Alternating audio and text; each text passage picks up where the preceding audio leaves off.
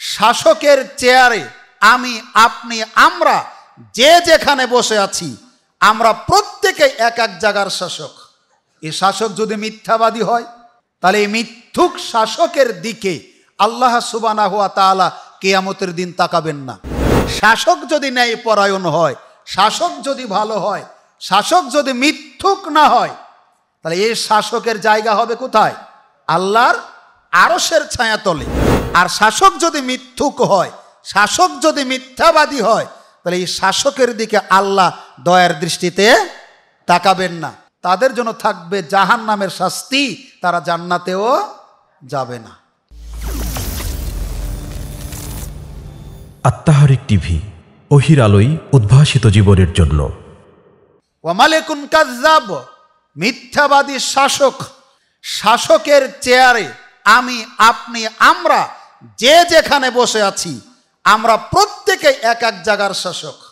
এই শাসক যদি মিথ্যাবাদী হয়, তাহলে এই মিথ্যুক শাসকের দিকে আল্লাহ সুবানা হুয়া তালা কেয়ামতের দিন তাকাবেন না। অথচ আমরা জেনে এসেছি, আবু হরাই রাজি আল্লাহ তালানহু বলেন রসুল্লাহ সাল্লাহু আলাইসাল্লাম বলেছেন, কেয়ামতের দিন আল্লাহর ছায়া ব্যথিত আর কোনো ছায়া থাকবে না। সেই দিন সাত শ্রেণির মানুষ আল্লাহর ছায়ার নিচে আশ্রয় পাবে। আল্লাহ সুবানা হুয়া তালা আমাদেরকে ওই ছায়াতলে কবুল করুন, আমিন। একদিকে উৎসাহ আর দিকে তার গতিবিধি দেখেন।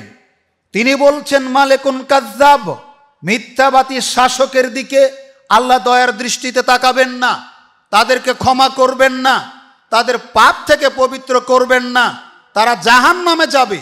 আবার এই হাদিসের ভিতরে রসুল্লাহ সাল্লা সাল্লাম বলছেন, সাত শ্রেণির মানুষ আল্লাহর ছায়ার নিচে আশ্রয় পাবে, জায়গা পাবে, তার প্রথম শ্রেণির মানুষ হলো এমামুন আদিলুন। ন্যায় পরায়ণ শাসক সাতজনের মধ্যে প্রথম নাম্বারই হলো কে? ন্যায়পরায়ণ শাসক। শাসক যদি ন্যায়পরায়ণ হয়, আল্লাহর আরসের নিচে জায়গা পাবে, আর মিথ্যুক যদি হয় বক্তব্য রাখার আর মনে হয় প্রয়োজনই হবে না, এই ব্যাপারে অন্তত। শাসক যদি ন্যায় পরায়ণ হয়, শাসক যদি ভালো হয়, শাসক যদি মিথ্যুক না হয়, তাহলে এই শাসকের জায়গা হবে কোথায়? আল্লাহর আরসের ছায়াতলে। আর শাসক যদি মিথ্যুক হয়, শাসক যদি মিথ্যাবাদী হয়, তাহলে এই শাসকের দিকে আল্লাহ দয়ার দৃষ্টিতে তাকাবেন না। তার সাথে কথা বলবেন না, তার পাপ থেকে পবিত্র করবেন না। তাদের জন্য থাকবে জাহান নামের শাস্তি, তারা জান্নাতেও যাবে না। তাইলে আমরা যে যে পর্যায়ের দায়িত্বশীল আছি, সেখান থেকে আমরা এই গুণটা অর্জন করার চেষ্টা করি। আল্লাহ আমাদের তৌফিক দান করুন, আমিন।